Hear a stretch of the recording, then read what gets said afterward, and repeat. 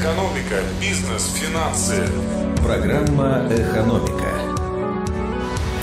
Микрофона Ольга Болезина. Здравствуйте. Кировская область меньше всех соседей получит денег из Москвы на поддержку бизнеса. Российское правительство распределило 2 миллиарда рублей из резервного фонда на неотложные меры по поддержке малого и среднего бизнеса, пострадавшего из-за коронавируса.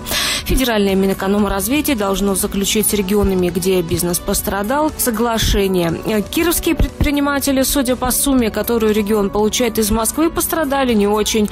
Кировская Московской области предоставляется только 5 миллионов. Для сравнения, Татарстан получит 67, Удмуртия 45, Чувашия 42, Нижегородская область 56 миллионов рублей, а Коми 15 с половиной. Программа «Экономика».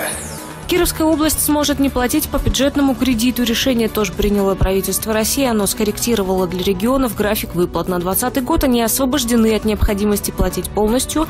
В 2021 и в последующие три года нужно будет погашать по 5% задолженности в год. Высвободившиеся деньги можно направить на борьбу с коронавирусом и на компенсацию снижения доходов.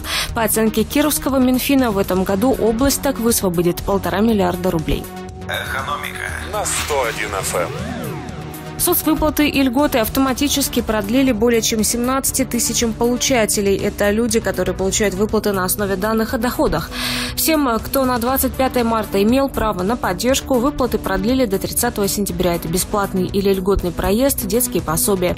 Ежемесячная выплата в связи с рождением первого ребенка, срок окончания которой закончился в связи с достижением ребенком возраста одного года, полутора или двух лет, продлится автоматически на новый период, соответственно, до двух двух или трех лет. Получателям субсидий на ЖКХ, у которых срок ее предоставления истекает в период с апреля по октябрь, выплаты продлены на 6 месяцев. Экономика. В завершении о валютах доллар сегодня 72 рубля 73 копейки, курс евро 79.12. Ольга Болезина, новости экономики в Кирове. Программа «Экономика» на 101 FM.